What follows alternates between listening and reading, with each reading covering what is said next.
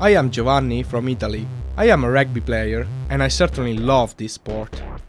Unfortunately, I've had a serious injury to my knee, so I have to take a mix of strong painkillers and supplements in order to keep on playing the game. It's very common to use those medications and medical practices in rugby, especially when it becomes more aggressive and tough. Because of the number of physical contacts during the match, often there are some physical problems after the game. It comes with the territory,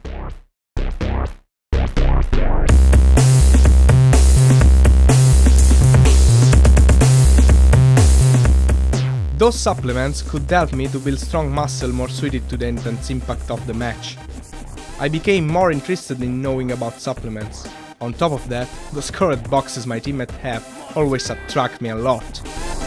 Having said that, I'm cautious. I never underestimate the possible effect of extra substances. It's my body and I need to know how to protect it. Know your body, know your substances.